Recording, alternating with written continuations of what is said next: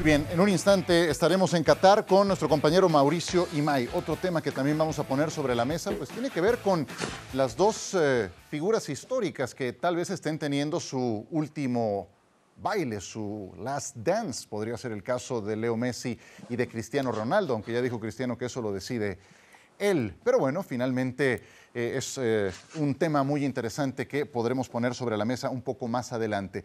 Eh, y vamos a recoger con Mauricio también los puntos de vista del sorteo que le ha tocado a la selección mexicana, desde luego de cómo está Gerardo Martino, que no pudo hacer el viaje para estar en esta oportunidad en territorio catarí. Y comenzamos precisamente con eso. Mau, gusto en saludarte. Has cubierto los últimos tres sorteos y has tenido la oportunidad de recoger las reacciones de primera mano de federativos post sorteo.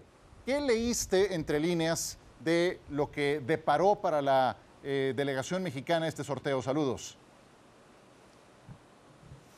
Gracias por el recuerdo, mi querido Ciro. Eh, buenas tardes y fuerte abrazo para todos quiere decir que me voy haciendo viejo, eh, querido Ciro. A ver, eh, mira, después, después de platicar con, con, Gerardo Torrado y el ingeniero John de Luisa, me parece que terminamos por, por confirmar de que el grupo está con, con, Gerardo Martino, de que no hay fractura, de que no hay una división con el cuerpo técnico de esta selección mexicana, de que tienen también muy claro y bien entendido de que la parte final de la eliminatoria mundialista no desarrollaron el mejor funcionamiento y que evidentemente tendrán que trabajar mucho para llegar a la Copa del Mundo en un nivel óptimo y poderle competir a dos selecciones poderosas como los son Polonia y Argentina, más allá de lo que, de lo que te puede exigir Arabia Saudita. Pero me parece que la selección mexicana en esa fase de grupos, a diferencia de otros mundiales, y también creo que, que, lo tienen entendido así los directivos de la Federación Mexicana de Fútbol, se van a jugar la Copa del Mundo en los primeros 90 minutos ante la selección de Polonia. Por supuesto. Eh, Mau, ¿cómo se va a preparar esta selección para el Mundial? Y especialmente para este Mundial que ofrece tantas variables nuevas como este? Qué bueno que me lo pregunta Ciro. A ver, vamos parte por parte. En el mes eh, de la última semana de mayo, la primera de junio, la selección mexicana va a poder tener dos partidos de preparación que son fecha FIFA, es decir, podrán contar con los futbolistas que militan en el extranjero. Esa misma semana en los 10 eh, primeros, 12 primeros días de junio, después de esos dos partidos de, fecha FIFA, en donde se está buscando un sudamericano eh, y, quizá a, un árabe, eh, que quién sabe si ese árabe pueda jugar en esa fecha de junio o hasta la fecha de septiembre, pero después de esos dos partidos de preparación en junio, en esos primeros 12 eh, días del mes. También tendrá dos compromisos de Nations League. Y los últimos dos compromisos eh, eh, de, fecha FIFA son en el mes de septiembre. Estaba ya cerrado Argentina, estaba cerrado.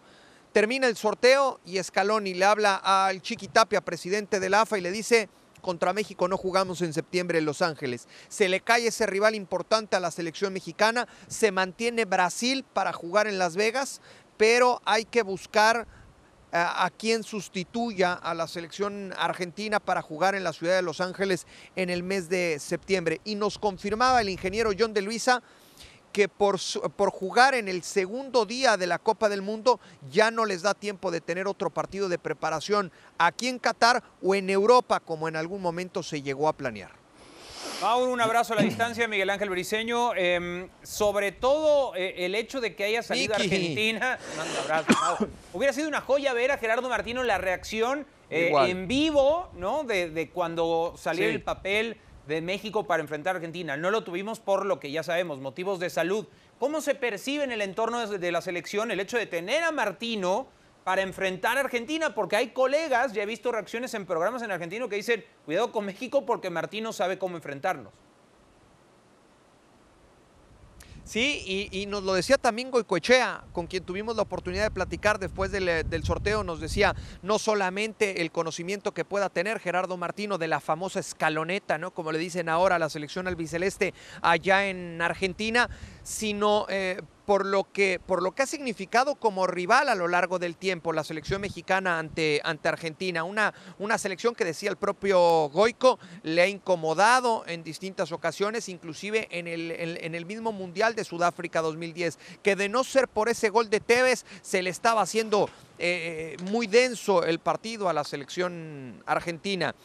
Y lo de Gerardo Martino y su reacción, sí, evidentemente no, no lo tuvimos, una lástima no haberlo tenido por el tema de salud y porque jugó ante El Salvador hace unos eh, cuantos días y no le daba tiempo de llegar aquí a Qatar pero eh, me decía Gerardo Torrado que estaba en constante comunicación eh, por mensaje de texto con el técnico de la selección mexicana y, que le, iba expresando ¿no? lo que iba sintiendo conforme conocía a los rivales. Eh, evidentemente ya, ya nos reencontraremos en algún momento con Gerardo Martino y seguramente, seguramente se va a expresar respecto a ese compromiso que tiene ante la selección de Argentina. Mauricio Imay, larga jornada, estupendo trabajo como siempre, que tengas buen regreso a casa.